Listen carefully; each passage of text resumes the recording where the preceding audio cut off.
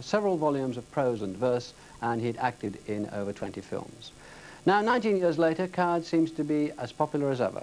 Two feature films from his plays are in the pipeline. His plays themselves are regularly revived in the West End and on Broadway, and major productions are touring on both sides of the Atlantic. There are two new biographies and a book about his songs, all close to publication. In tonight's South Bank show, Chris Hunt has turned up some rare footage and gathered a posse of friends and assessors to offer a portrait of the man some called the Master.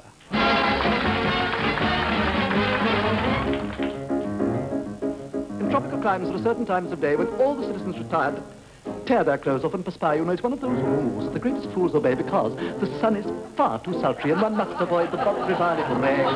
Pap like a pap like a pap like a boo, that's natives if you're interested. The natives grieve when the white men leave their huts because they're obviously, definitely nuts. Dogs and Englishmen go out in the midday sun. The Japanese don't care. The Chinese wouldn't dare to. Hindus and Argentines sleep firmly from 12 to 1, but Englishmen detest a siesta.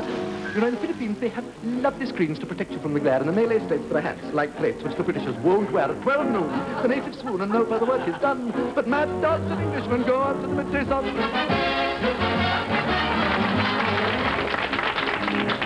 Oh, it's such a surprise for the Eastern eyes to see that though the English are effete, they're quite impervious to heat. When the white man rides, every native hides in glee, because the simple creature's hope he will impale his solar topee on the tree. heaven in heaven in heaven in hides the same natives, pay no attention. Digga, digga, digga, digga, digga. It seems a shame when the English claimed the earth. The quintessential English gentleman, Noel Coward, was in fact born just two weeks before 1900 into a lower middle-class family in West London. Yes, perfectly ordinary suburban middle-class background. My mother's family were all connected with the Navy a great deal. But of course we hadn't got very much money, so it was sort of genteel poverty we lived in originally. Dance, dance, dance to the lady, youth is fleeting to the rhythm beating in your mind. Almost from the cradle, Noel's ambitious mother saw star potential in her precocious son. She completely ignored his education. He, was on the stage from age dot almost. Um, there was no impetus to do anything that a, a, a, normal young boy would do. Noel was a stage-struck little boy who was up there singing, being brought down to, to perform for, for for family evenings. Um, and then it was just a natural progression to, to theatre. I was trained when I was very young as a show-off, and I've continued triumphantly until this moment. My guiding light in the theatre, read to the theatre, was the Daily Mirror, because it said, it came out and said that in an uh, attractive, talented and handsome boy wanted. So mother and I had a brisk conference, and we decided I was talented, handsome, moot point, but we'd better have a try. And so I went and gave an audition to a lady called Miss Lila Field. Then I sang a song called Liza Ann from the Orchid, and there was no piano. And so mother la la'd the chorus for me to do the dance. You see, I had to do the dance. I got the job. Violet Coward's faith in her son was strengthened in 1912 when she went to see a fortune teller at the Coliseum who used items of clothing from people in the audience to divine the fortunes of their owners. She had this sock in her hand and the entire performance came to a grinding halt because her hands began to tremble and she said, Who is the owner of this sock? I must know who the owner of this sock is. And from the stalls came Auntie Violet's word, yes, right here, a Mrs. Coward. Yes, but who actually wears the sock? Who is the owner of the sock? Mrs. Coward's son, Noel. Well, the woman said, Mrs. Coward, I must tell you that your son, Noel, the owner of this sock, is destined for extraordinary things. I am getting such a vibration from this sock that I cannot but believe that his career is going to be remarkable. From the age of 11 onwards, Noel was acting regularly, but only in minor and supporting roles. Regarding your, dear Mrs. Worthington, of Wednesday the 23rd, although your baby may be keen on a stage career, how can I make it clear this is not a good idea. For her to hope, dear Mrs. Worthington, is on the face of it absurd. Her personality is not I had the luck through the agents, Bellew and Stock, to be engaged by Charles Hawtrey to play a page boy.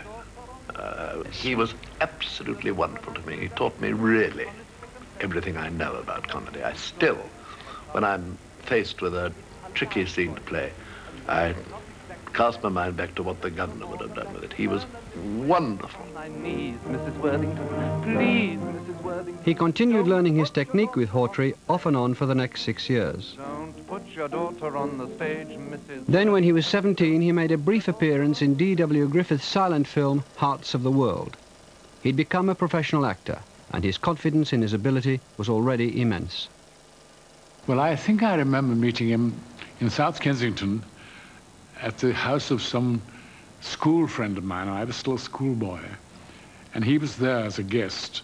And I seem to remember he went and played the piano, and I thought he was rather bumptious and uh, showing off rather. Stardom continued to elude him despite his many efforts, so he turned his hand to writing plays and revues featuring himself. In 1924, aged 24, he wrote his third play, The Vortex. My object in The Vortex was to write a good play with a whacking good part in it for myself. And I'm thankful to say, with a few modest reservations, that I think I succeeded. His character was the son of a woman who made herself look ridiculous by trying to appear young and taking lovers who were half her age. Originally, I had a great friend who had rather a flighty mother, and I was with him at a nightclub. And there she was with a young man. And the other people in our party at the nightclub started to laugh at her. And I thought how awful for him. I, I'd once went over and kissed her and said, hello, how are you, dear, etc., etc. And so they shut up. But it was a very bad moment. And I thought, how dreadful of a mother to put her son in such a position. You're neurotic and ridiculous. Just because Bunty broke off your engagement, you think you can come in here and say wicked, cruel things to me. You forget what I've seen tonight, I don't care what you've seen tonight. I've seen you make a vulgar, disgusting scene in your own house, and on top of that, humiliate yourself before a boy half your age. The misery of losing Bunty faded away when that happened. Everything is comparative, after all. I did not humiliate You ran up the stairs after him because your vanity wouldn't let you lose him. It isn't that you love him. That would be easier. You never love anyone. You only love them loving you. It can't be such a crime being loved. It can't be such a crime being happy. You're not happy. You're never happy. You're fighting, fighting all the time to keep your youth and your looks.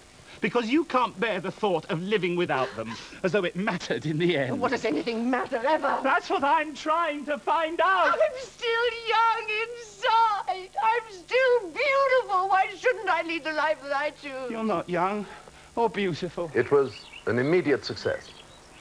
It established me both as a playwright, as an actor, which was very fortunate, because up until that time, I had not proved myself to be so hot in either capacity. Oh, tremendous. Everybody thought it was very, it was about drugs, which was not talked about in those days, and the sort of mother-son last act, like Hamlet, which was very powerful.